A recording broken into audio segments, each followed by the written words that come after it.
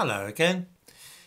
Any theory or doctrine which is true and founded upon evidence should not need to be defended with falsehoods and deceit. If we found that those who work in the field of quantum mechanics were only able to um, explain their ideas by misleading people about history or hurling abuse at those who held a different view of the behaviour of subatomic particles and so on, then we might be a little suspicious about this. Why, we would perhaps ask ourselves, are these people telling lies and being rude if their belief system is a rational one based upon scientific inquiry? This is uh, the question which some of us ask about the champions of the equalitarian dogma. That is the view that all humans of all ethnicities are equal in cognitive ability and everything else. Worse still, those who are fiercest in their advocacy of this cause are now using the very same tools which were used in the 20th century by the proponents of scientific racism, which is a truly dreadful irony. The best way of examining what is now happening in the field of anti racism, motivated and inspired by the equalitarian doctrine, it's to look closely at what one or two of the more articulate and well known academics in the field have to say on the subject. Let's begin by taking a book published by that most respectable of houses, the Oxford University Press. It's in their series of a very short introduction books in which leading experts write short books which explain topics ranging from accounting to Zionism for the ordinary uh, non-academic reader. Ali Rattansi, a professor of sociology, is the author of Racism, a very short introduction. This was uh, originally published in 2007 and then comprehensively updated and revised in 2020. It's from the 2020 edition as I take the two quotations. I mentioned this book last week, but since then I've had a chance to read the whole thing and it's absolutely frightful. It is perhaps particularly unfortunate that the very first sentence of this book, which I have here incidentally, is deliberately untrue.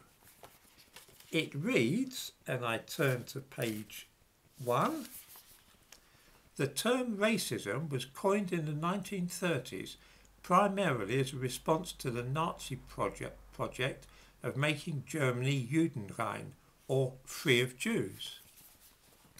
It's probably fair to assume that an authority in the field of racism like Professor Rattansi knows perfectly well that he has begun his book with a falsehood and that he knows that the term racism was first set down in print in 1903, 30 years before the Nazis came to power in Germany. It was an American who was first recorded using uh, the word in a speech denouncing racial prejudice against American Indians. In 1902, the unfortunately named General Richard Pratt said, segregating any class or race of people apart from the rest of the people kills the progress of the segregated people or makes their growth very slow. Association of races and classes is necessary in order to destroy racism and classism. This is the first time that the word uh, can be found in print, but it was doubtless being used much earlier than this. I give a reference for this in the description to this video.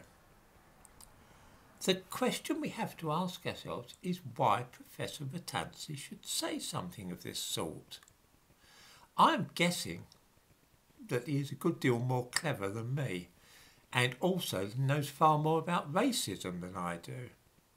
It is absolutely absurd to think that he would write a book like this and not bother to check what he says in the very first sentence on page one.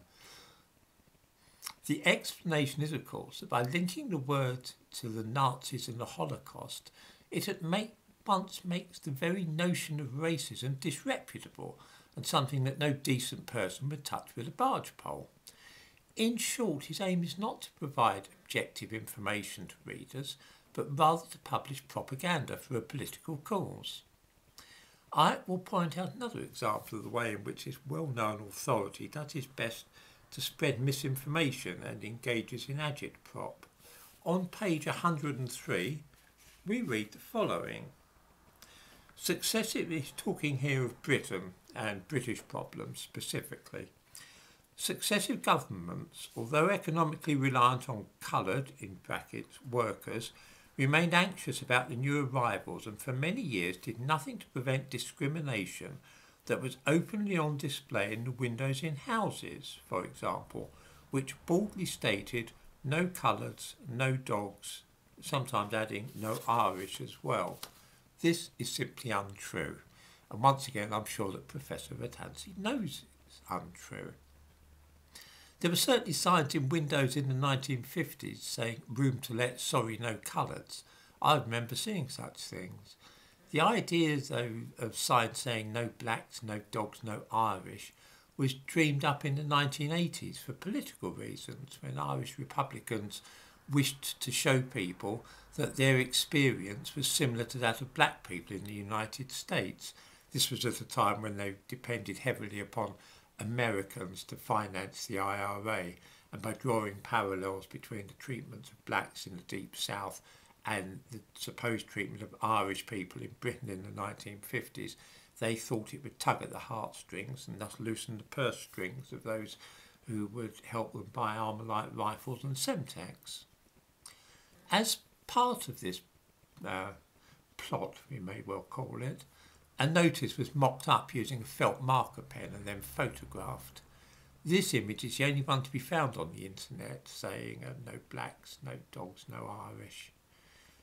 There are certainly no contemporary record of any such things in the 1950s and 60s.